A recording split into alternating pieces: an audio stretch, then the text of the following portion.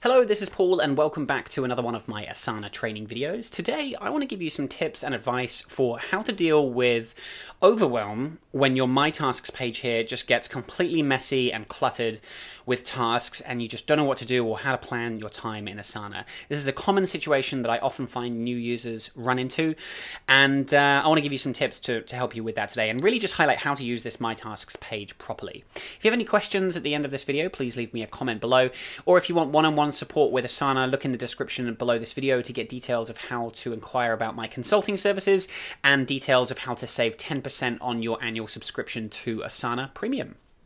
So, to just provide a bit more context to this um, to this video first, yeah, like I said, this is a situation I've found a lot of people run into, and I think this is the result of firstly, people don't know how to use this My Tasks page correctly, and secondly, I think people put more tasks than they need in Asana. I think they're not using Asana appropriately. I think Asana should be for tasks that really you want to work on in, say, the next couple of weeks or couple of months. A lot of people dump things in Asana, though, of just like notes, things that, you know, it's just like a list of things like notes, really. Uh, Asana's not great for notes, like it can be used for notes, but you have to be careful with that. Um, the other thing is like articles or books that you want to read. People put all of that kind of stuff in here. Again, there are ways of doing it neatly and tidily. Um, and then other things like ideas as well. A lot of people dump ideas. You know, we have these like someday maybe lists. Um, if you're a getting things done GTD follower, you'll be very familiar familiar with this idea of the someday maybe list. And so we put all of our someday maybe stuff in here, and we assign it all to ourselves. So all the stuff with your name on it, like this. Paul Minors up here, this all appears on your My Tasks. So this My Tasks page up in the sidebar here, this is a summary of everything assigned to you from all of the different projects that you're working in. Now actually, I'm just in a demo account right now. These actually aren't in projects. I've just created a bunch of tasks in here for the for this example, but um, this, what we're looking at, is a very common scenario that I'm used to seeing working with clients. And you can see here, there's a bunch of tasks. A lot of them are due maybe today or this week. Some are overdue, some are due later next month. And really, just looking at this one long list, it's very hard to prioritize our tasks and plan our time just looking at this. And so maybe this is a view that you're used to seeing. And so let's uh, let me show you how we can start to tidy this up. Firstly, let me just highlight how to use this page correctly. Now, I've actually talked about this before in a different video on how to use Asana throughout the day, so go back and watch that video if you haven't already. Just to recap briefly though, Asana in the My Tasks page gives you these different sections everything new that you put in here that other people or, or yourself, you know, that you assign to yourself, all these tasks go into this new section. And they're basically like unread emails. And actually, that new section is basically a temporary holding place. You actually need to go and look at the task and decide what to do with it and actually sort it into one of these sections, which is today, upcoming, or later. So, for example, this one that's due today, I would click on this blue dot and I mark it for today. This one's later this week. So actually, look, there's the video I'm recording. I'm going to mark that as upcoming because it's coming up later this week. And then something later this month in a few weeks, I'm going to mark for later. So now we can see these sections start to being built out.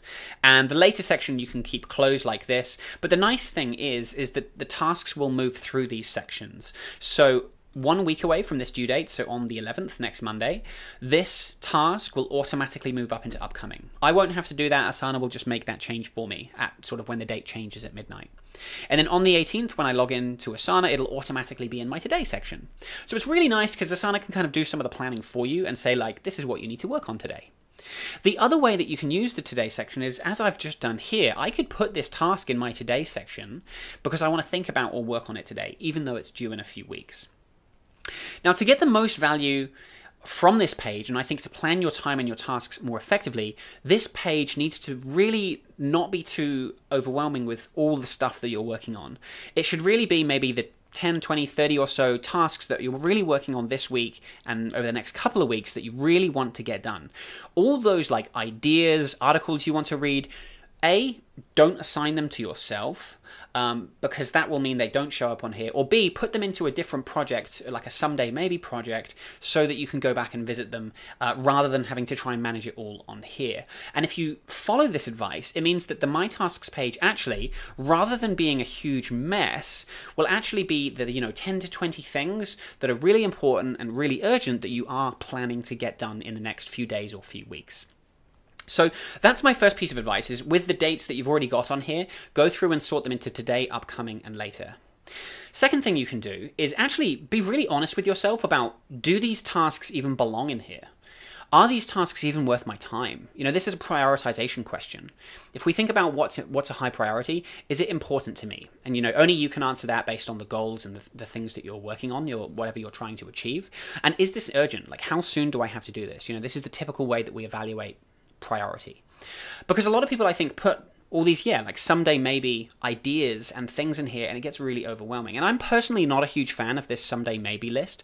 I used to dabble with this concept a little bit, but now pretty much everything that I go that goes into my Asana is stuff that I'm planning to do in the next few weeks or few months that has a date where I've committed to working on it. I don't really have any of these someday maybe lists anymore because if something really is important, I'll plan to do it if it's not important, I'm not going to put it in here. If if it keeps coming up in my mind again and again, if it's really important or if it's a really good idea, it'll keep coming up. I'm not going to forget it, and I'll eventually schedule time to work on it. And I think then if you get rid of your someday maybe list, it actually means that um, you're not you don't feel guilty for having all this stuff that you haven't done. And I think the someday maybe list can be a bit of a distraction as well. It distracts you from those few tasks that are critical and very important, and all this someday maybe stuff that you might find something on there that looks really fun, and so you get distracted with it. So that's that's my second kind of piece of advice is just um, doing a bit of a self audit and looking at what tasks should you even have in here? And it means being really honest. You might just have to delete a lot of this stuff because it's just not important or not urgent. And that's something you have to be really honest with yourself about. Now, the third little tip you can use here, and i am going to contradict myself because I've just said I don't like the someday maybe list, but I do appreciate some people want to not forget their ideas and have a place to store these things. So, what I've done with a number of clients is let's set up a new project here. We'll go a new project, and let's just call this whoop, someday slash maybe. So it's going to put a new project in my sidebar here, someday maybe. What I'm going to do, I'm going to just take, let me just sort a few more of these tasks. So let's say that's today, this one's upcoming. Okay, these two are upcoming. Okay, so I've planned and I've got all the stuff that I really want to work on in the next few weeks. Everything else, this is all that stuff that falls into that category of like not important, not urgent right now. I want to put it on my someday maybe list. Oh, I actually can't edit more than 50 tasks at once, so let's just do to there. Okay, we'll add these tasks to the someday maybe project. And now what I'm going to do is unassign them from myself. And I'll just do the same with these remaining eight here. We'll add those to someday maybe, and I'm going to unassign. That way, now, all of this stuff that's like, not sure if I want to do it yet, it's an idea, a note that I don't want to lose track of, we put it all into this kind of folder project. And you could you could sort this project how you like. You could create a section here for like, you know, articles. Um, you could have another one for books, and you know, you could you could sort these however you want.